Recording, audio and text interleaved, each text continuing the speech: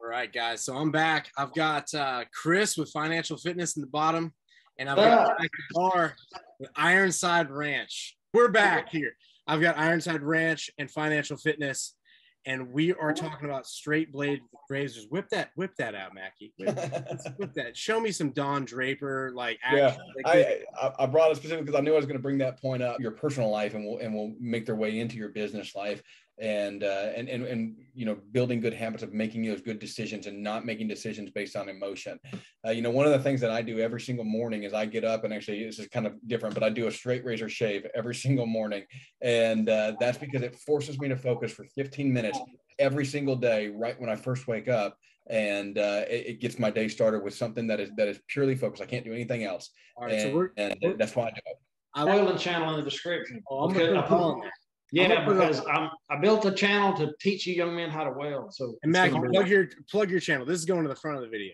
Oh, uh, Ironside Ranch, we do, you know, we're all about self-sufficiency. It started out as a farming channel and now it's worked into everything that's, that's uh, involved with being self-sufficient. So learning how to grow food, how to raise food, understanding finances and building businesses, everything that you guys want to talk about that's self-sufficiency related. To start that and to do, like I said, every day you start with that straight razor shave or something, whatever it is, do, do yoga, Pilates, whatever, whatever floats your boat. To me, this is just cool and it's kind of fun. And so, uh, and my wife bought it for me and says something that I want to do every single morning and uh, it forces me to have to focus every day right at the start of the day and and I do that before my workout and and whether you know like I said you can you can do your yoga read your bible whatever it is pick something that forces you to focus for 15 minutes right when you get up and that'll start your day off well so true so you're true. right it's you know I heard Mark Moss say uh, he would do butter coffee in the morning which I love I got a video uh, yeah, it it's, gives you your brain the fats it needs. It gives you some caffeine. And he said he would get a candle, light the candle, and just try not to let any thought get into your mind and just focus on the flame, focus on the flame, focus on the flame. And he would do that every morning for, you know, 20 minutes. I don't know how long. Okay. But um, I never did the focus on the flame thing, but I did do butter coffee and work out. That's kind of my that's my zen. That's your thing. Okay, so so for the guys that haven't done the butter coffee, I'll link to that as well. I've got a video on that. It kind of comes from a guy named uh, a brand called Bulletproof Coffee. That's where I found it. Um, it is laxative, isn't it, Chris? Yeah, it's yeah, yeah. It's like don't, right now. Yeah, don't hit some butter coffee and get in your truck. Okay, it's not like that. All right, you need to hit some butter coffee when you wake up. Right? Yeah. Keep you regular. Okay, yeah, that's that's that's kind of one thing it, with with morning rituals. To Mackey's point, um, I had a mentor tell me a long time ago. He's like, look, there's 31 proverbs. There's 31 days in a month. Some months have less, but there's 31 days in a month. Read proverbs one day for the day of the week or for the day of the month. Yeah, I, my wife and I do that a lot actually. Yeah, I do that as a habit. You know, just as a habit. Some days I miss, but sometimes I'm really on a roll. And every time I go through it, I'm like, man, I don't remember reading this.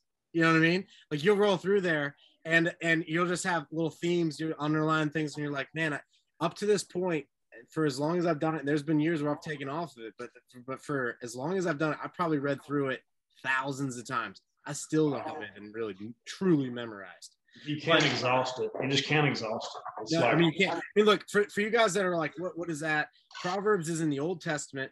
Uh, it was written by a guy named Solomon, who's the son, son of David. If you've ever heard of David and Goliath, David is a little shepherd boy that goes out, becomes a king of Jerusalem, essentially, like the king of the Israelites. Uh, he has a son named Solomon, and Solomon becomes the wealthiest man to our knowledge that has ever lived. And, he, and the dude's also has like 780 something wives. So like almost dude, a thousand with concubines. Oh, yeah, if you add in all his, I mean, the guy's busy, right? So he's the wealthiest dude in the world, and he's not like running like the Jeff Bezos model where he's dating like 51 year old single mommy of three. Like he, he's really running. All right. He's really to add something to that though. And we talked about it earlier. We talked about women and how they can mess you up. Mm. At the end of King Solomon's life, he let so many different women in his life that had different gods, they strayed him away from where he began. And that was the wisest man on the face of the earth. Well, look at Proverbs. I mean, about half of the Proverbs are written about staying away from troublesome women in some way, shape, or form. And uh, so, I mean, Solomon was definitely, you know, his his his weakness and his vice was women, but he knew the right way to do it. And you know, people talk about the uh, in, in the Old Testament where um, you know, uh, polygamy versus uh, monogamy and, and, and this, this whole debate about it. And uh, it, it's the reality of it is, is that there's nowhere in the Old Testament where they say it's a good idea. That's true. Yeah, it's true. So, so in the previous video, we were talking about that. I mean, I think young guys, that's just something that they fall into, right? Where it's just like you got your, you get your own place, and then you start dating and you have some success, and then she's spending the night, and then it starts to, and then there's a toothbrush there, and then all of a sudden, you're into a relationship that you never stopped and had a conversation about where are we going from here. Mm-hmm. So uh, I mean, I'll leave guys to make their own decisions on that, but just be smart about that that type of situation because that that can seriously set you back. Uh, so relationships should be intentional, just like anything else that we do. And if you let it be accidental, it will be an accident. Mm-hmm. Yep. That's, that's super true. And then you find yourself three, four years later where like that spark isn't even there, and you're just like, "What are we doing?" You're just going through the motions, and it's yeah it's garbage. And I mean, I've had somebody tell me one time, you're just practicing divorce. Yeah. Right. You, you got like this girl, that girl, that, and it, eventually you're like, oh, I've been divorced three, four, five times. Oh, that's freaking great. It's gonna work well when you when you end up dividing half of your shit with the state involved when you sign some paperwork. You know, like, so just be cautious of that, I would say to most guys, because we have an entire generation of women at this point in time where they were just told one thing. And I just don't think that's consistent with anything historical and anything to do with human nature when you're divorce is outrageously expensive people don't ever realize that you know there's always the jokes about it that i would divorce her but i'm you know i, I can't afford to or something along those lines but cheaper to uh, keep her. divorce is outrageously expensive. I lost everything i have when i went through my divorce and uh, you know i moved to birmingham with a cast iron skillet and a sleeping bag. Uh, and i was i slept on the floor of my apartment that i could barely afford for the first six months i was here. So you, you know people don't realize how how unbelievably expensive it is and if you have a kid involved or anything like that, even if it's a girlfriend situation, it's almost even worse. If you had a girl, uh, girlfriend yeah. and a kid, it can turn into uh, it, it, can turn into a a crazy circus. And, and just know, women are playing chess, men are playing checkers. It's very they're they're. I'm telling you, they're the most. They're really. I'm not gonna say manipulative. My wife's awesome. She's my number one person in my life, but man, they will they can work you over. They can get you right where they want you, and then they can have a kid and they really got you. So just be careful. Hypergamy is a real thing, you know, and so yeah. So I mean, we've hit, we hit that, you know, pretty intently. I would say. I'd say, yeah, yeah. I would, I would say. I mean, one of those signs like uh, explore with fun. yeah. So all right. So learning a trade. I, I'm big on the I have a question for both of you guys. So when I was a younger guy, and I'm talking 22, uh, I'm I, I moved out of state at this point in time. I'm in a in a, a roommate situation with my buddies, and you're you're kind of living hand to mouth in a way. What you're bringing in, regardless where you're working, whether you're running for yourself or you're working for someone else, what you're bringing in is kind of what you're spending at that point in time is very common. And I was pretty, I was set up pretty good at 18. I had sold a lawn and landscape business. I had everything paid for prior to that. I already had my diesel truck. I had all those things checked off, and then I got a check on top of that. Right. So I was I was set up pretty good, but I didn't have the mentality of paying myself first until much later, and it's cost me substantially when you look back. If you think investing is is one of those things like wait until you get the bill or something like that. One of those I know you've heard that, where it's like if if you think investing is expensive, wait until you get the bill for not doing it mm. something like that. Same thing with your health. But those are two things where, in, in the terms of investment, I, I see it in the physical world, in your own body, in your own skill set, and then also financially, which I think a lot of guys kind of think, oh, I'll deal with that later. And that's one of my biggest regrets. It's like when I was 22, I was always investing in myself, but I wasn't necessarily building myself quote a portfolio and and developing the emotional skills of like, can you handle a 50% downturn? Or any of those type of things? Like, do you have conviction? Do you do research on it? I wasn't really thinking. I was kind of like, oh, one day I'll build a business, I'll sell a business, and then I'll deal with investing after that when I'm when I've got my cash.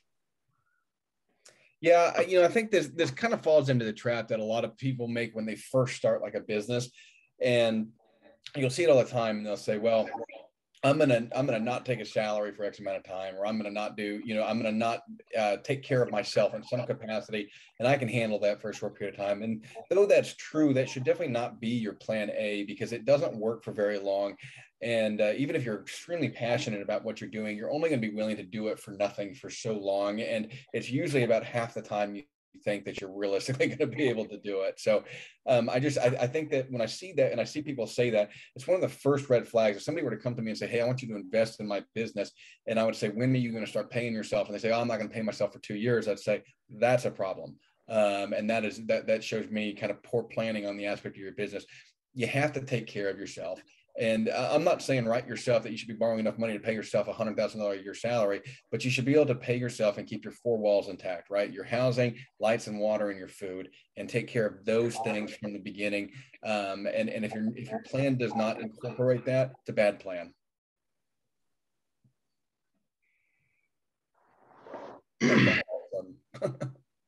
well, I don't know where you were at.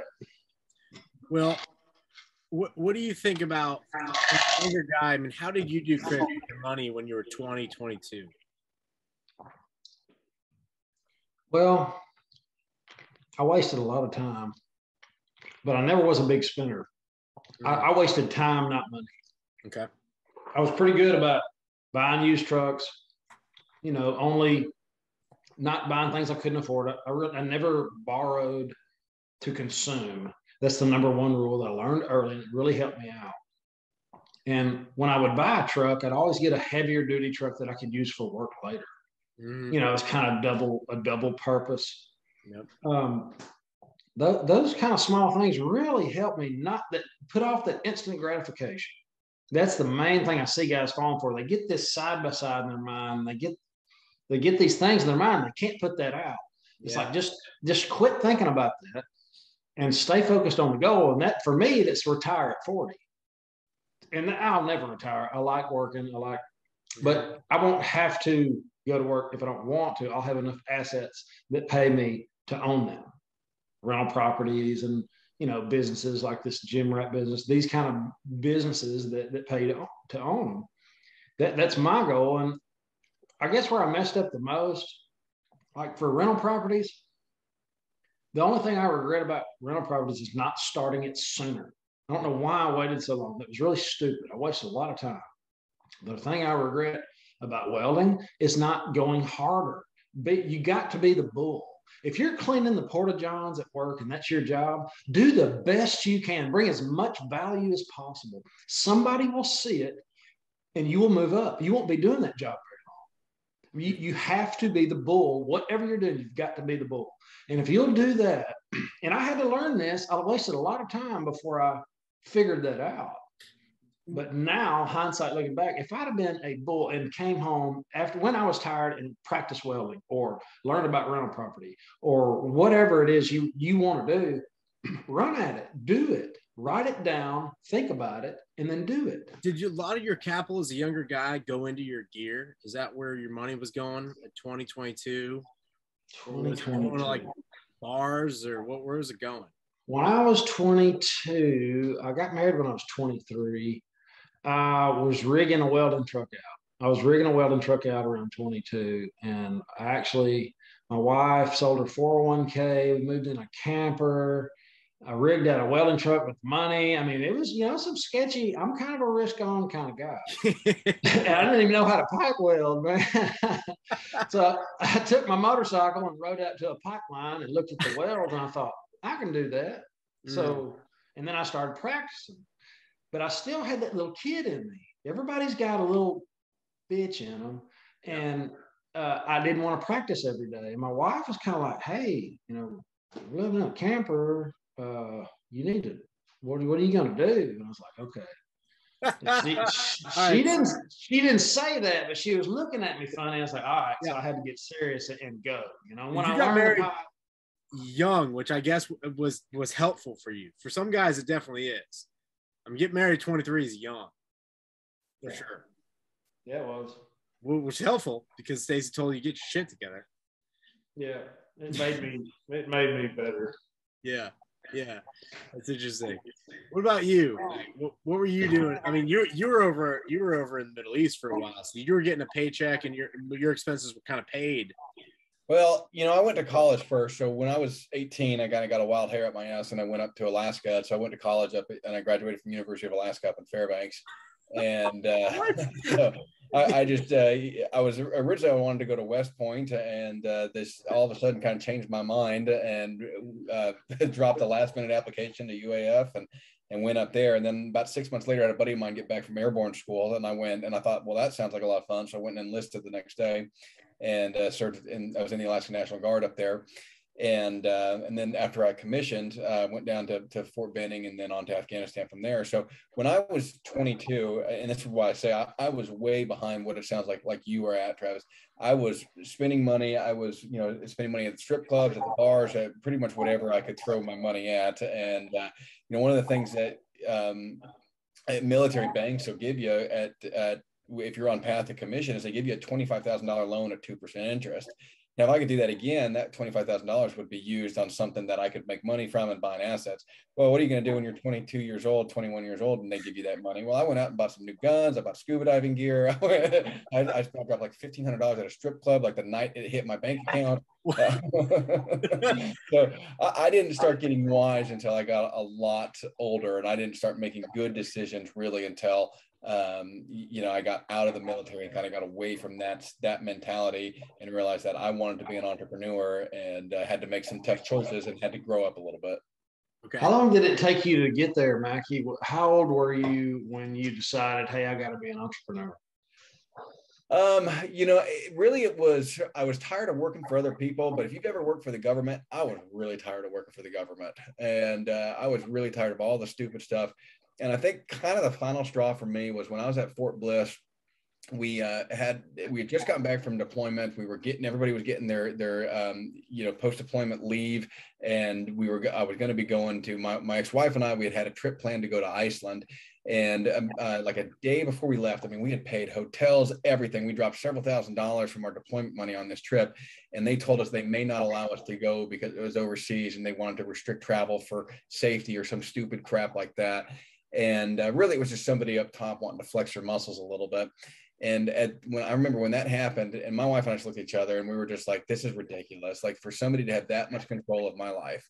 And it kind of went the opposite way from there. And we just decided, I don't want to ever have to work for anybody else again. So when I got out of the military, I worked in corporate America for about a year and a half while I set up different businesses and got things going here with our, our property inspection company in Birmingham. And um, but uh, but that was the last time I said I'm never working for somebody else again.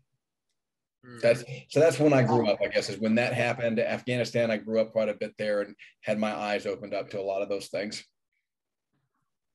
That's interesting, man. I mean, cool. for me, I mean, I had the good fortune of not making crazy mistakes early on, uh, but I didn't understand the mentality of an. I understood entrepreneurship, or so I thought. I was like, yo, it, it's going to be hard. It is what it is. You're going to have to grunt through it. The the people that win don't quit. That's the game. As long as as long as you keep getting up off the mat, they can't beat you. Mm-hmm. Now, sometimes you're working on this on a stupid idea and it's not working out and that's that's I've had that case where I, I should have called it several years early. But my thing, because I was always a smaller guy, I'm five eight, five nine. My license says five nine, but you know I'm somewhere between five eight, five nine. You know, and when I was younger, I could never get past 165 or whatever. But I would I would win absolutely any fight I got in in high school or under. Period. I just because you just don't quit. That's how you that's how you win. You just don't quit. You just don't quit and you find a neck. That's it. That's all you got to do. But like, so I approach business the same way, where I was like, yeah, if there's a wall, I'm gonna smash through it. You know, if there's a giant, I'm gonna choke him out. Like I'll, I'll just keep just going until until eh, you know until I win potentially. But what I didn't do that I, I regret the most that I, that I now I, I I mentally think through is I didn't view uh, myself in terms of a balance sheet, or I didn't have a balance sheet. Let's put it that way. I didn't. I didn't record. You can't measure. You can't manage what you can't measure, and so I didn't measure quote my net worth because I thought, well, there's net worth there, but it's not. It's not seven figures. It's not really worth talking about, right? And, and and so I I regretted most about not having that balance sheet and then having the mentality of how should I orchestrate my balance sheet? You know, should I have 50% of it in things that are, are solid gold, you know, or, or, or, or you know, asset producing or income producing? Should I have 10% of it in speculations? Right? Should I have, you know, I didn't really mentally think through this. I was just kind of like, throwing a pitch after a pitch and a punch after a punch. And if something came my way, I just solved it then. And so in a way, I was just kind of firefighting through life where I was like, oh, I was just doing what I do. Fire pops up, I'd pop it out. And that caught up with me later in my 20s when I just had too many fires going on. And I got had too many projects going on. I had too many businesses going on. I had too many too much stuff. And and so I would I would say that my biggest thing is like I just didn't mentally really conceptualize how I should have been allocating myself, even in terms of time or even in terms of building skills. You know, I've never, I've never really budgeted. Never tried to budget. Uh, I, I'll probably be better off like that. Uh, but my theory was, my wife tried to do it one time. She said, "Well, we need to quit uh, we need to do a budget. And I thought, well, is there something we need to buy that we can, or what is it? She's like, well, we need to do this because we don't know our money. You know, the whole reason to do a budget. I said, well, we'll just make more money. That's that would be the better option instead of trying to save money. We'll just make more money. And and that's just kind of been my, you know, your thing. Even if it was working a weekend, you know what I mean? If it was, yep. if I had to do that, then fine, that's what I'll do. But it, it, I would have been better off if I would have budgeted my way through life. I, but I'm not bad about buying new boats and new this and new that. I, I'm pretty much I would get just what was good enough to get me through that because I knew I'd be over it. You know, that's funny, side Oh, I'm sorry. I, I said that's funny because my wife and I have pretty much had the opposite approach on things. Is that we, uh, at the end of every month we do our budget for the next month we both look at it and agree to it say okay this is where our money's going this is what we're spending it on and then i've got on my laptop i've probably got 30 different budgets and cost analysis and everything for different business ideas that i've either thought about that are either gotten thrown out because i did the budget or uh, they're on the back burner right now while i'm looking for investors or partners or whatever it is uh, but you know, we we kind of approach things from the, the, the, I guess the complete opposite end, where everything is on on spreadsheets and numbers, and I think that might be a little bit more of a personality thing as far as like, um, you know, obviously what you're doing is working for you, and and so it, and so I'm not well, not saying it's kind of funny two into the. Well, uh, is, hold I on. said I would be better off. I would be better off if I would have been budgeting. That's for sure. Well, when it comes to your rental properties, though, you do budget. Well, yeah. I mean, we, we know what our bills are. We know. I mean, we know all Mm-hmm. But we don't. We do more now, way more now. Yeah, we know. Uh, she does the spreadsheets and all that. Yeah. I'm running and doing what needs to be done. She does the bills, and she she'll, she'll have it all out, and she'll say, "Hey, this is what we got in this this business, this business, this business, checking savings." You know. So if you want to call that budgeting, I don't think that's really budgeting, though. It's it's kind of you know what's unique there is that Stacy's filling in your weakness in a way. Right. Uh, for a single guy, if you're if you're a single guy and you know it, that's a bad spot to have a girlfriend role at, like with all your finances whatnot. But you do need to surround yourself with people that can help fill in your weaknesses. I think the biggest thing is you're not going to know what your weaknesses are until you're pretty self introspective about it. And then once you know what your weaknesses are, then you're like, okay, these, these are my weaknesses. I need to hire or I need to surround myself with people that can fix this because nobody's. Well, well, I think surrounding yourself with good people in general is always, um, you know, obviously like surrounding yourself with wise counsel. And, you know, there's always a phrase that you're the average of your five closest friends type of thing. Like, you know, I want my five closest friends to be, you know, multi, multi millionaires that are outrageously successful, both in business and in their personal life. You know, you can't overlook that, that, you know, there, there's, you know, we talked about, you know, that last night, that Denver event going on. One of the reasons I can't go there is because my kids have something I have to be at on Saturday and I'm not, I'm just not going to miss that. Like that's part, like balancing your personal life is important too but surrounding yourself with people that are that are successful in areas that you want to be successful and that will hold you accountable um, you know, I think that's the quality of a, of a good friend or, or, or, mentor, somebody that'll say, Hey man, you're screwing up here. You're doing this crap. This is really stupid and it's hurting you. And here's why, and you need to stop. And I think that that's really important to have those people in your life. Yeah. Yeah, that's true. Absolutely. I, I agree 100%. I mean, I've had gut feelings about things before I got involved in things, and then when it when it kind of came to its conclusion, I was like, man, I was I was right on this in the first five minutes. Um, so stick with your gut if if you can.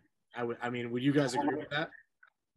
Absolutely. Something you hear all the time, but you don't really know what it means until you've experienced it, which sucks. I wish somebody. I wish you could. I wish you could just go with your gut, and not have to experience what it feels like to go against it. Uh, you know, I, th- I feel like if I would have prayed about my decisions, it would, they would have came out a lot better. Yeah, if I would have if I would have done the gut feeling and then prayed about the gut feeling, that that would that would have served me a lot better. And I wish I'd known that earlier. I think the bigger problem I had was that I prayed about it all the time and I didn't always listen. Um, and uh, I didn't always listen to the answers. So I think that was probably my bigger my bigger issue on it. for those for those in the audience that are like, yeah, I'm not really too too too uh, kosher on the God thing or whatever, just meditate. It's the same word. It's the same deal.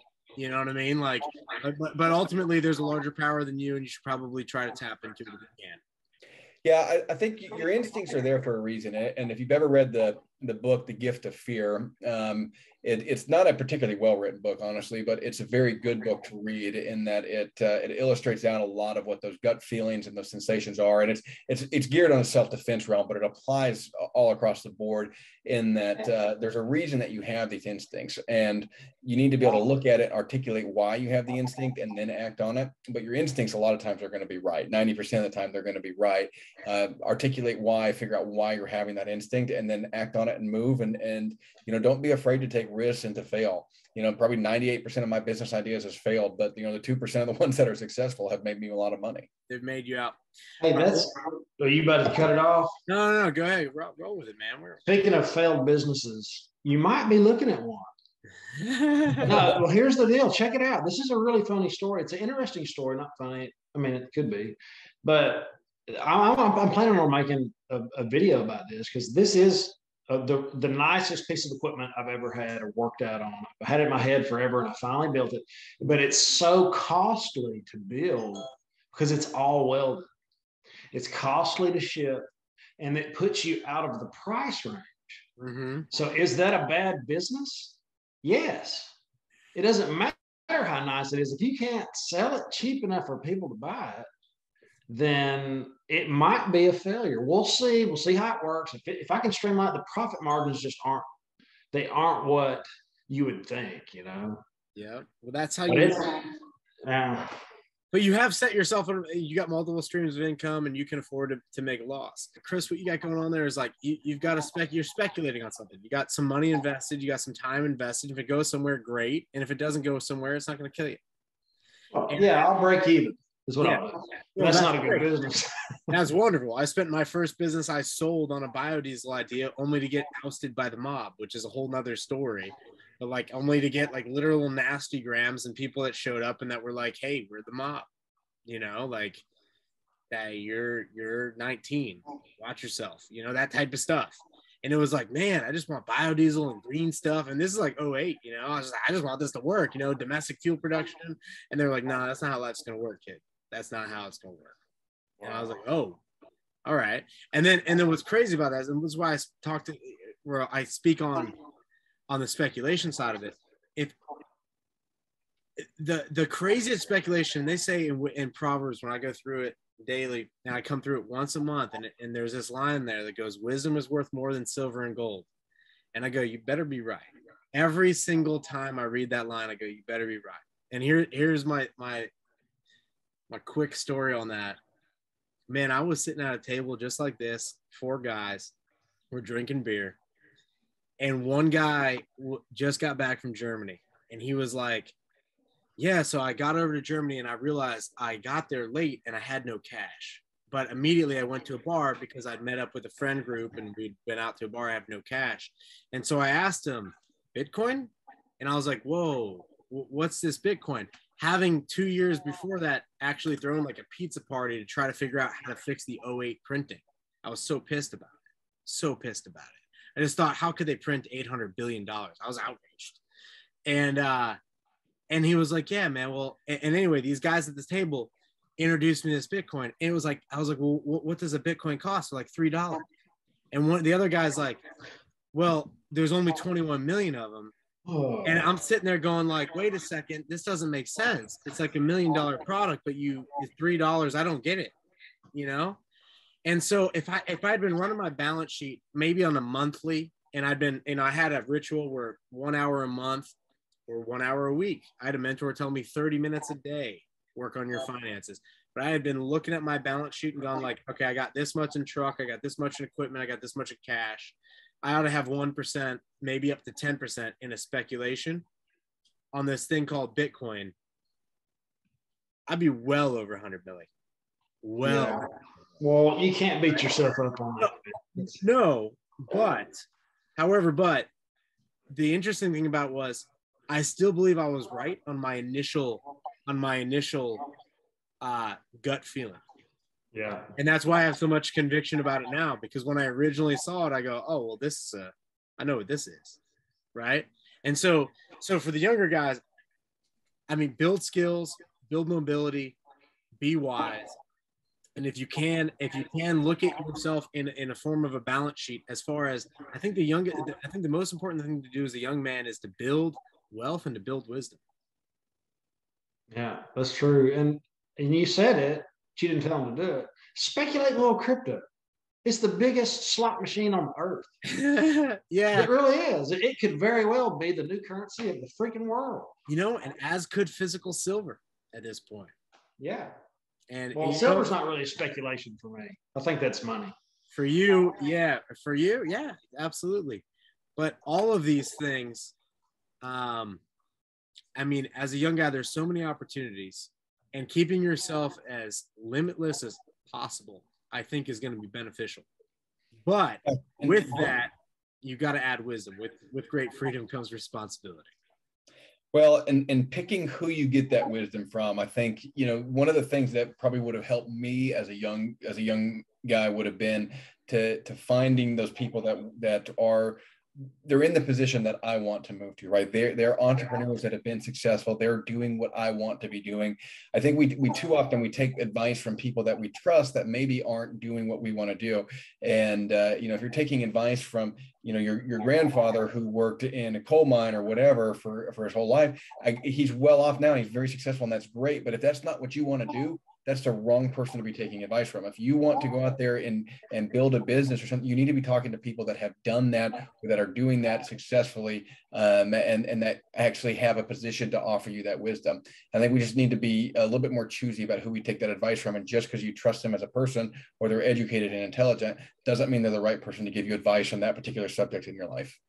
Man, I hope you I hope the listeners are listening. I hope you get some young guys listening to this because this is, Yeah. You know, this is such important. Everything you said is so important. Be careful who you listen to and think about everything critically. Yeah. You've got to think about everything critically, including government medicine. You gotta think about all that stuff. Look, the, the only thing, because I look at this really as an investor at this point in time, because I realized when I went out there, I thought originally I was like, oh, I'm this big entrepreneur guy, and I still feel like that's in me. But when I went out there and got everyone's got a plan until they get punched in the face, Mike Tyson quote. Yeah. Yeah. Okay. I've been punched in the face a bunch of times, but I got this rule. I just get up. That's my rule, right? Like that's just how I do it. Unfortunately, you're going to take a lot more punches in the face if that's your rule. Right? there, there is a moment where you can just tap out and, and tap out. But but my other my other speculation at that time, which is what was I had a mentor who fought me so hard on a new car company called Tesla and said it would never work. And and I didn't back up the truck on a conviction. Ah. Yeah, yeah, yeah, yeah. It's okay. Yeah, we're gonna go fly his plane that he just he just built re- relatively soon. I could have bought a bunch of them, the same model, because he's got my dream plane, right? But but nonetheless, for the, for the young guys, when you when you when things are just just there in the gut, and Chris, Chris's channel is great. Financial fitness is great on, on what you should be eating, what you should be doing. Because if your gut's messed up, your gut's messed up. If you're not eating the right stuff, you're not. You're not. It's it's a true gut feeling. It's like a secondary heart. But like when you have that, you go on that because it because you don't really know until you look back on it and you go, oh, okay, that's it. And unfortunately, I don't know. It's kind of like an infantry guy, a top left here, where it's like you know the feeling, and when you're when you're there, it's, I don't know. It's, it's hard to describe. It's like any guy that has a truck or a machine, you just know how it feels. It's hard to describe it if you don't know the feeling. Mhm. But but in a gut feeling, you don't know how it, you know how it feels, but you don't know how it truly, truly feels until you know that you're going against it. And then, and at a later point in time, you realize, yeah, it was right. Mhm. It's hard to describe. I wish I could describe that better. I have nothing to say. So is it like that gut feeling when you're going wide open on your tractor backwards and you stop right before you hit a tree? is it that gut feeling? I don't get that gut feeling. For me, that's just a surprise. Okay. Yeah, because I always feel like I got it right until that moment. Anything to wrap up with, Meg? No, no, I think I've said I said my piece. All right, cool, man. Well, you guys, I'll link to both of these guys' channel. Awesome, awesome dudes. Uh, man, put, Hey, put put your my- in. What's Make that? sure you put the make sure you put the welding channel in the Oh. description for the for the guys that want to learn how to weld. I will put the welding channel, and then also for the listeners, get in the comments. I will get back to every single comment that happens this year on this video. If it's like several years in the future, no guarantee. But if it is in 22, I will respond to every single comment on these videos. And uh, and put it there, and we have a conversation there. And a lot of times these comments spur new videos, and they get addressed. So please be in there, comment, like, subscribe, and then go check out these two guys' channels because there's a lot to learn on both of these guys. So thank you for your time, and thank you both of you guys for your time as well. Thanks for having me. Absolutely. Thank you, brother. It's good to see you, buddy.